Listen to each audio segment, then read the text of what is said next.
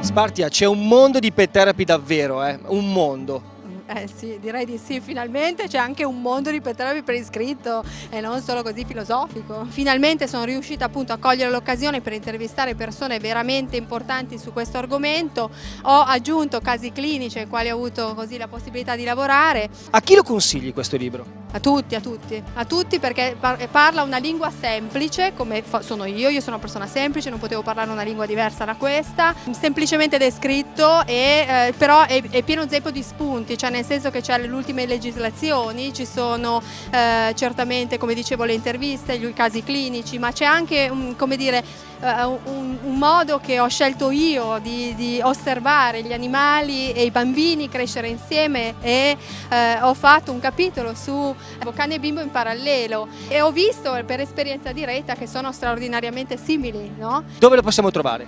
Allora in tutte le librerie d'Italia, se non c'è chiedetelo. È un mondo di pet therapy, edizioni Trevisini, Sparti a Piccinno.